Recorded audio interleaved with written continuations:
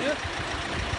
É, infelizmente a manhã desse domingo ela está um pouco agitada, né? Fomos agora acionados aqui na BR-265, no dia 265, aqui sentido Miraí, um acidente automobilístico onde o veículo veio a colidir frontalmente contra uma árvore, restando aí um, morto no local e mais dois feridos aí sendo conduzidos por unidades do SAMU para o São Paulo.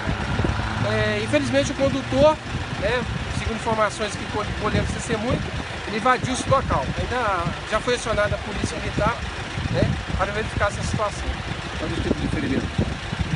Aparentemente aí, os, os dois que se encontravam no veículo, né, um sofreu ferimentos leves e o outro está com suspeita aí de fratura no membro inferior.